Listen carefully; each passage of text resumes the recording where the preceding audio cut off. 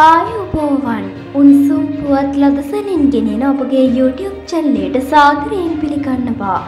මෙන්න දැල්ලෙපුුණු තවත් උණුසුම් පුවතක්.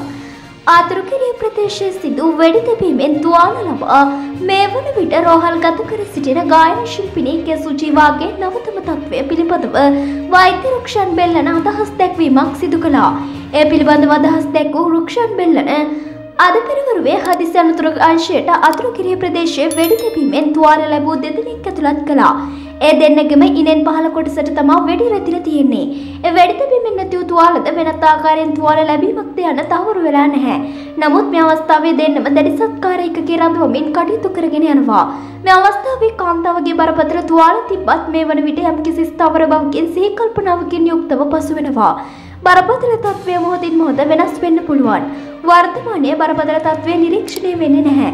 නමුත් තුවාලය බරපතලයි. තුවාලය බරපතල නිසා තත්ත්වය බරපතල නැහැ කියලා අපිට කියන්න බෑ. යනුවෙන් ප්‍රකාශ කළා. මෙවිනු සුම් පුවත් ලදසනින් දැන ගැනීම සඳහා අපගේ YouTube චැනලය සබස්ක්‍රයිබ් කර බෙල් අයිකනය ක්‍රියාත්මක කරන්න. ඔබට සුබ දවසක්.